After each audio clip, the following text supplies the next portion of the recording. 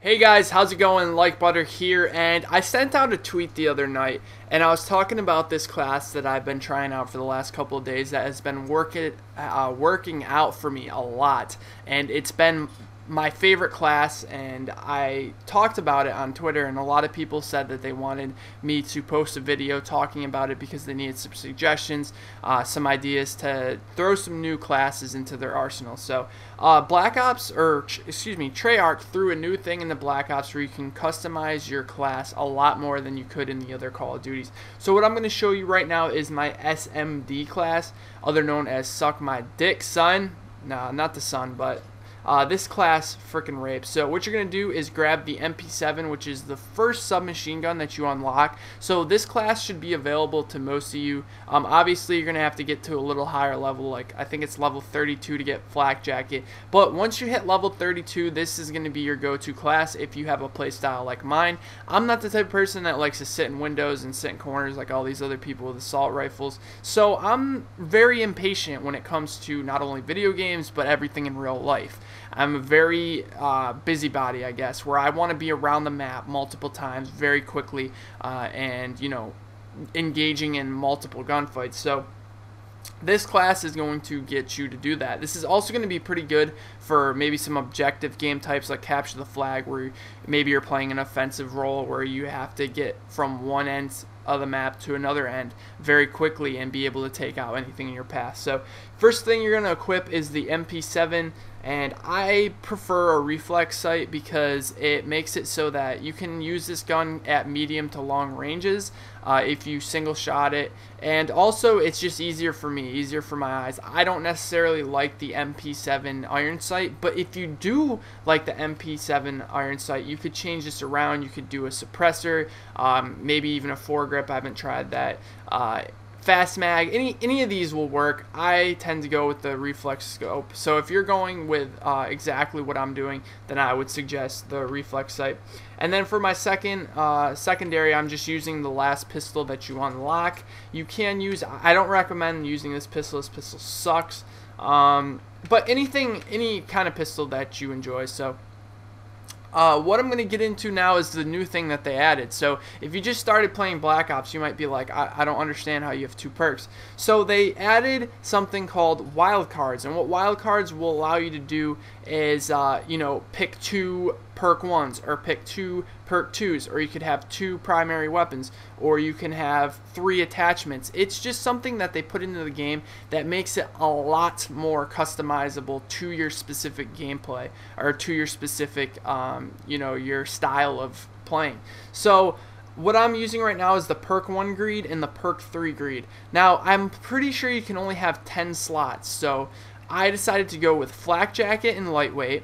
Now, flak jacket is very useful against grenades, you know, anything of that matter. Um, you have to get to level 32, like I said, but it's not that big of a deal. This will save you from any bouncing betties, um, any grenades thrown from long range. People love throwing grenades. It's super, super helpful, and it's so it saves me so many times you have no idea and you're going to want to have this perk with this um, with this class because you're going to be running into their spawn a lot you're going to be running around and you want to make sure you can get by those grenades with no problem so of course the second perk one being lightweight because this is going to be a run and gun class um, and then toughness uh, what this does is it reduces the flinch when you're shooting, and you're going to be engaging multiple enemies with this class, so you want to make sure to have this. It's very helpful. Plus, most of the perk 2 classes are kind of poopy anyways. Of course, Scavenger's pretty good if you're playing like a defensive role uh, in Capture the Flag or something like that, but um, Toughness seems to be the only one that I use. And then for perk 3, you're going to put on Dexterity and Extreme Conditioning.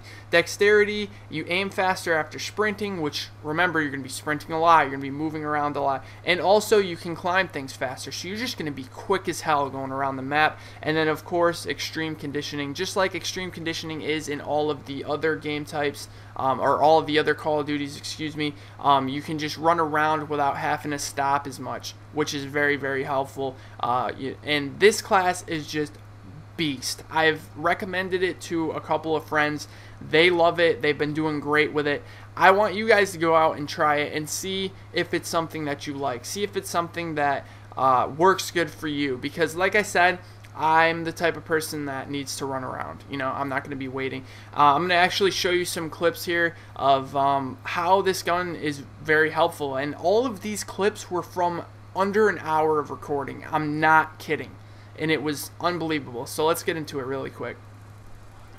Alright, so all of these clips were recorded with just an hour's time. I I promise you guys, this was all recorded very quickly. You can even see that some of them are in the same game. And I'm not an amazing Call of Duty player. I, am not even. I wouldn't even consider myself good. I just just a decent average player. And um, if I can get this many kill feeds in, I think I think it, it was around 45 minutes, only three or four games. Then uh, it's scary to think about what some of you players who are really good at the game are going to be able to do with it. Look at how bad that guy just got turned on. So you can just see me using the reflex scope as much as possible. Remember, it's just easier on my eyes. You might want to switch it up. And uh, I am dying most of the time after I, you know, kill three or four people. And the reason for that is because I'm drawing so much attention to myself. This is where possibly the silencer could come in hand. So if you can deal with the iron sight on the MP7, then maybe the silencer would be better for this class. But look at that, just taking everybody out. And uh, I think that was a fault by my teammates. If you go back and look at that clip, um, there's four teammates around me. Four, and they were all trying to snag my kills instead of, you know, watching the area around it. A guy came right, right up behind me and killed me. So these things can be avoided if you're playing with a full team. And I was just playing with one other friend at this time, so I wasn't completely aware of what was going on all the time because nobody was communicating. It was very difficult. But here's just another example of me running in and just taking out the entire team.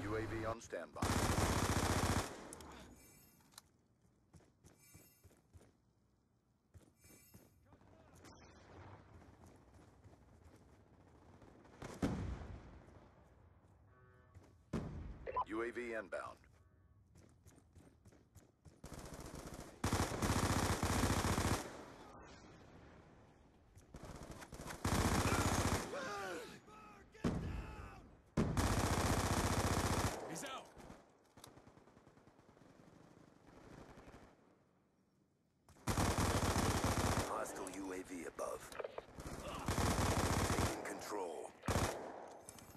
So once again, showing that it's not completely necessary to reload every time.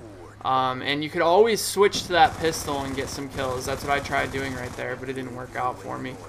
And uh, in this last clip, you're going to see how Flak Jacket saved me tremendously and then uh, you know we win the match. So I want to thank you guys for watching this video. Make sure to leave a like if you enjoyed or you learned something from this video. Let me know some feedback. Uh, leave some comments in the comment section. Did you try it out? Did you like it? This this is my my uh, challenge to you guys. I want you guys to go on use this class and send me your best gameplay using my class and I will uh, accept it as a video response to this video. So thanks again for watching, guys, and I'll talk to you guys later.